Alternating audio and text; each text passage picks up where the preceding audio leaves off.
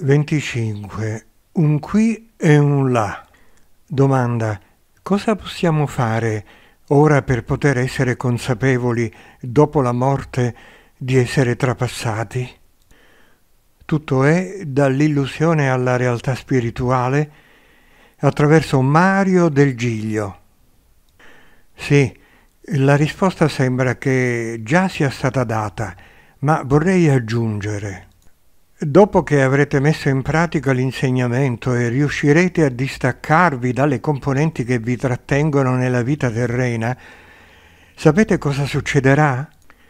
Voi, pur vivendo e facendo l'esperienza terrena, potrete essere già in uno stato di coscienza tale che potrete sentire, dico sentire spiritualmente, già la dimensione prossima.